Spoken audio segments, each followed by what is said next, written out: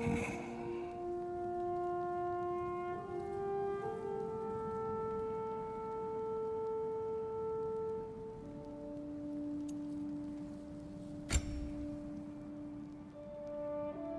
boy's mother is dead.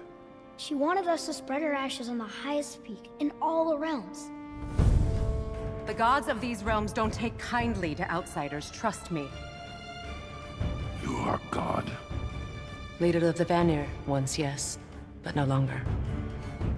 There's only one person alive who can get you where you need to go. First, you need to cut off my head. Odin's eye is on you, brother. Especially now that you've taken to killing his kin. When I came to these shores, I chose to live as a man. But the truth is, I was born a god, and so were you. We can do whatever we want. There are consequences to killing a god! Mother. Back off, Kratos. This has nothing to do... No!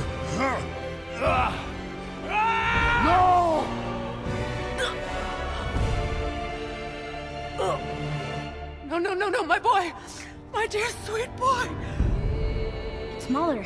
Look, she was a giant. I'm a giant. I guess there's just one thing I don't understand.